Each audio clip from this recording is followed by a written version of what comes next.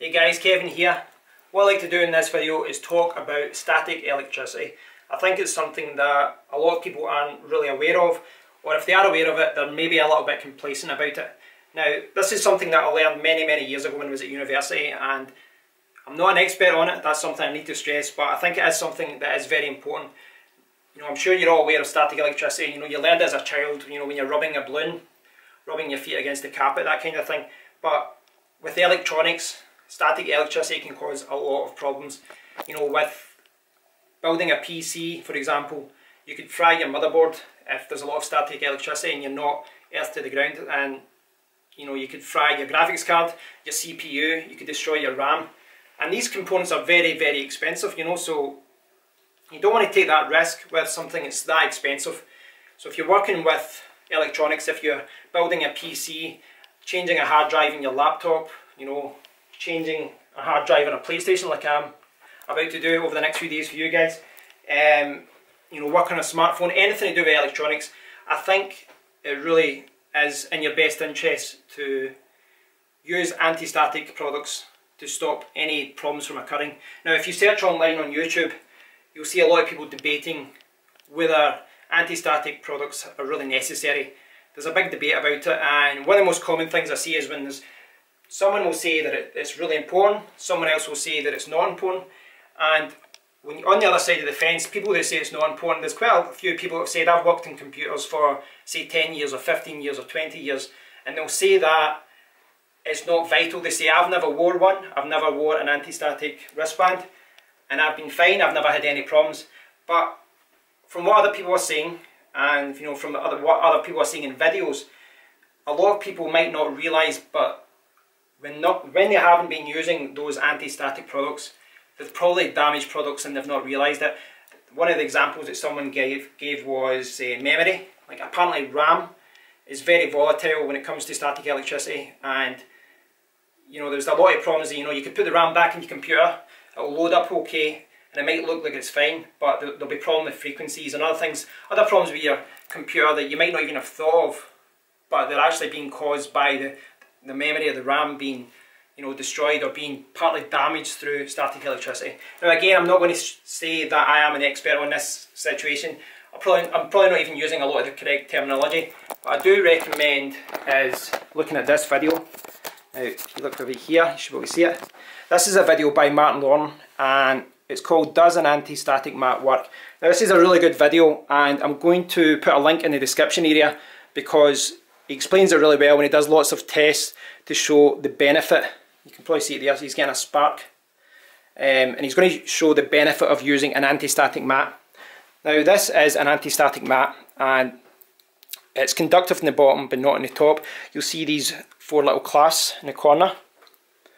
Now they come in lots of different sizes. This one is apparently grey but they've clearly sent a green blue, I don't know what colour that is. I got mine from a company called Elcom so I've contacted them to try and send the correct colour. But um, I got them. I got it through Amazon.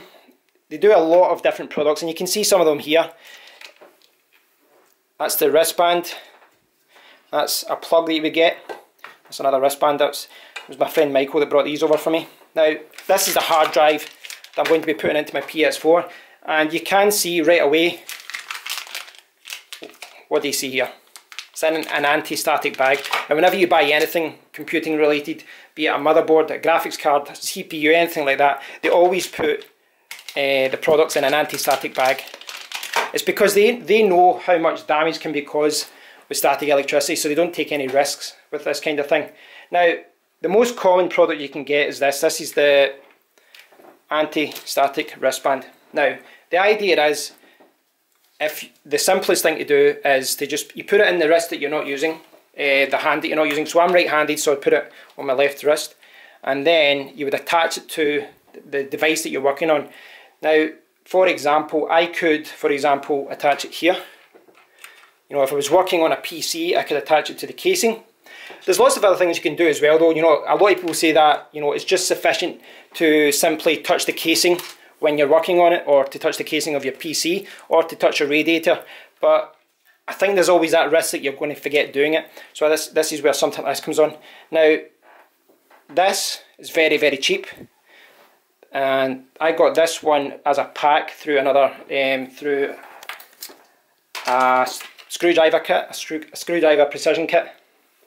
But you can pick this one up very cheaply. You can get them from China. I just bought this myself from Amazon for £1.29, so like $1.50. And it's coming in a month right enough, it's slow delivery, but you know, it shows you the cost, it's very, very cheap. These ones are a little bit more expensive. In the UK, they're about £10, so about, you know, probably about $13 in North America. And the idea with these ones is, again, I'm not an expert on this. Um, just turn you around. Now, I'm not an expert on why these ones uh, is more efficient. Now, depending on your environment will really, you know, influence how much you take this, how seriously you take this. I think at the very, very least, I think at the very, very least, I think if you're working in anything to do with computers, I think you need this. I think you need the anti-static wristband. But that apparently just bonds you to the device that you're working on. But the idea with this is a little bit different. What you do is you put the anti-static wristband on, you use the crocodile clip and you attach it to the mat, right? So, turn you around again. So, and you can see the clip has actually come off here. You can do this one-handed. So, you've got this here. So the idea is, that would go on my wrist, this would clip onto the mat, then be another cable just the same like this, and if you can see here, imagine I've got two of these cables, but you can, as I said, it's not arrived yet. Um, this would be plugged into the earth, into the, the wall, and you clip that on. The other side would either clasp onto here, or it would clip on. So you could either use a crocodile clip, like that, or if you have a clasp, you can just clasp it on. So if it's if you get a clasp, you get different kinds of these cables. If if there's a clasp on each side, then what you can do is, you know, you could put it like this. So essentially what you would do is you would have a connection for yourself to the mat, which isn't conductive, and then you'd have a connection from the, the mat to the main, and that, would be earth. You don't even have to turn the, the, the, plug on, the adapter on at the wall. So, that is apparently a more efficient way. There's lots of tests explaining why that is. I believe it discharges it more efficiently and you know there's a 1 mega ohm resistance in here that helps it. I think it discharges it slowly. I think. Again, I'm not an expert on this. I've been I've been uh, doing a lot of research on this, but I think when it comes to me talking about it and qualified electricians and people in the industry, I think you know I'm I'm dumbing down a lot of this um, for my own simple brain, and hopefully you know you guys will understand my simpler explanation of it.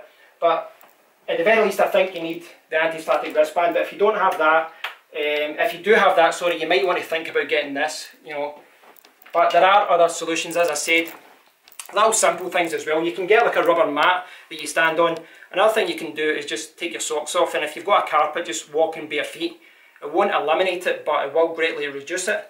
And, you know, there's other things like that that you can do. This is something that I think you should all take seriously. So, you know, if you're going to be doing any repairs, anything to do with your PC, upgrading that hard drive, try and see if there's a problem with it, you know, with the, the power, anything to do with anything with your computer, with your laptop. If you're opening it up, please do use an anti-static um, wristband. One thing is to note is, you know, if you are doing upgrades to your laptop, some computer companies are quite funny and even if you do wear an anti-static um, wristband, they might say that you shouldn't be opening up. I'll give you an example. My, my laptop from HP, who, terrible service by the way, as far as getting it fixed. But they told me, the guy told me to open it up. So I opened it up and all that and you know he told me to do some tests, take out the RAM, take out the battery and all that kind of thing. But I did all that and that was from an Indian call centre but a few days later I spoke to the guy from England and the first thing you know he kind of asked is well make sure you don't go in the laptop because that voids your warranty.